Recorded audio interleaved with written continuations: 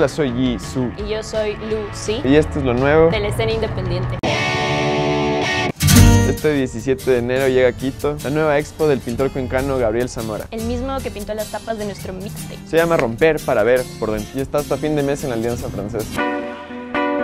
Y comienza el año en República Sur. Este 21 de enero se presenta en La Madre Tirana, Pánico de Quito. Y para terminar hay fiesta a cargo de los sucos de la seca. Y hablando de la madre tirana, acaba de sacar un lyric video para el single de su segundo disco, Agripina Rock and Roll.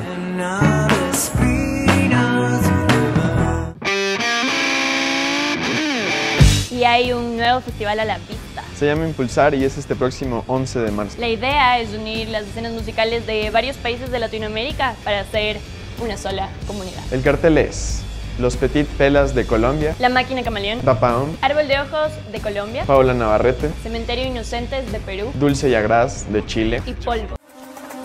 Chequen la sesión que acabamos de sacar con el productor mexicano 714. Es una coproducción con Nido de Cuervos en Guápulo y tiene una vista increíble de la montaña de monjas.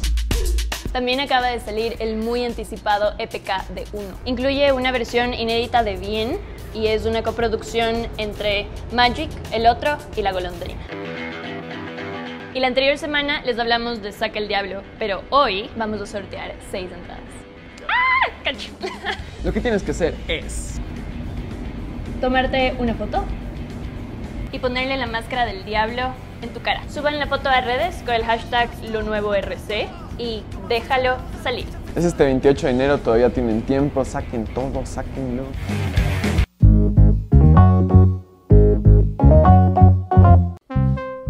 Paula Navarrete anunció que en el 2017 sale su nuevo disco. Amarilla, el segundo disco de La Máquina, va a estar listo por fin en marzo. Esto fue lo que confirmaron en Facebook. Finlandia Singapur se va de gira en febrero a Colombia en el Esto nos hizo la pubertad tour. Y ya tenemos un teaser oficialísimo del nuevo videoclip del extraño para las chicas van en auto.